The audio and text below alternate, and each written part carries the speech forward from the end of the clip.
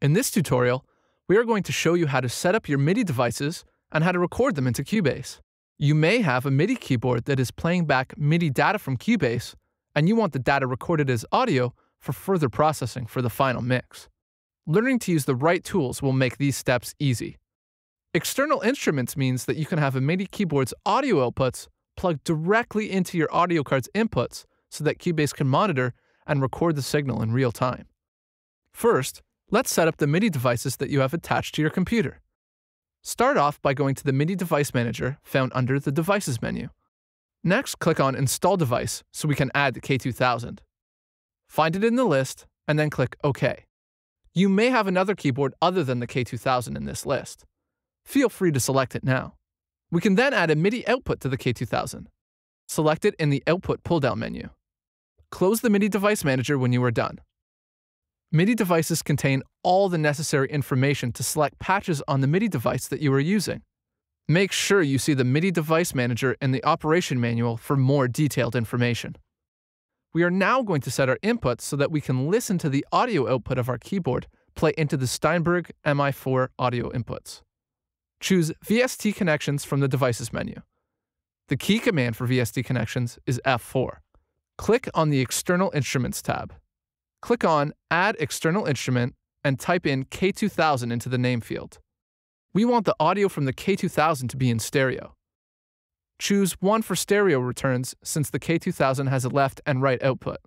We have made a MIDI device earlier, so let's click on Associate MIDI Device and choose the K2000. Click OK to close the Add External Instrument window. Make sure that you select the correct inputs and outputs for your new external instrument bus. Close the VST Connections window and select the Loop 2 track. Add a new instrument track from the Add Track pull-down menu found under the Project menu. For configuration, choose the external instrument that we created. In our case, it's the K2000. For count, choose 1. Click OK to close the window. Now let's monitor our external instrument. Press the Record Enable and Monitor buttons on the K2000 track. Play some notes on the actual K2000 keyboard. Let's rename the track K2000 to Piano, since it's a piano that we'll be recording on this track. This doesn't rename the external instrument name in the VST Connections window, it's just the renaming of this track in the project page. Remember that we created a MIDI device in the MIDI Device Manager window. MIDI devices contain valuable information about patch names, bank selections, and a few other things. This helps us in that we already have all the program names for the K2000 at our disposal. Click on the Programs button in the inspector and choose the Stereo Grand Piano sound.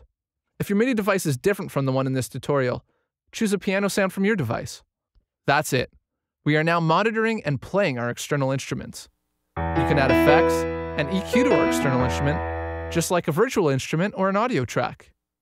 We'll do this on our next tutorial. For now, let's record some MIDI. Turn on the Record Enable and Monitor buttons on the piano track if they aren't already on. If you find the levels low, you can click on the Edit Instrument button and move the Return Gain slider so you can hear more of the external instrument. Press the Record button on the transport panel and record a piano line for our project.